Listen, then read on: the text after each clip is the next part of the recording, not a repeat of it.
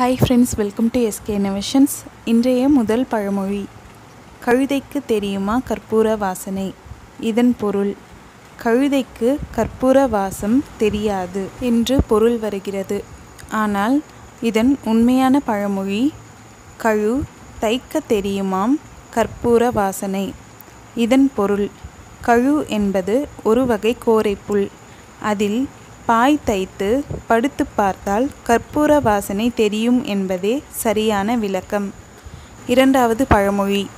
ஆயிரம் பேரை கொன்றவன் அரை வைத்தியன் ஆவான்.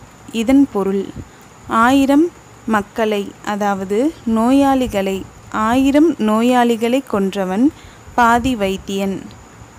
இதன் உண்மையான பழமொழி என்னவென்றால் ஆயிரம் வேரை கொண்டவன் அரை வைத்தியன் ஆவான்.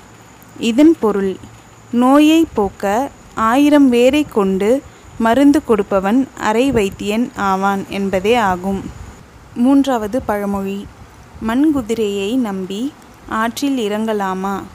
இதன் பொருள் மண்குதிரையில் ஆற்றை கடந்தால் உடனே மண் கரைந்து ஆற்றில் மாட்டிக்கொள்ள நேரிடலாம். இதுவே ஆகும். இதன் உண்மையான பழமொழி என்னவென்றால் மண் குதிரை நம்பி ஆற்றில் இறங்கலாமா? இதன் பொருள் மண் குதிர் என்பது ஆற்றின் நடுவில் இருக்கும் மணல் திட்டு. இதை நம்பி ஆற்றில் இறங்கினால் ஆற்றில் சிக்கிக்கொள்ள நேரிடலாம் என்பதே உண்மையான பொருளாகும்.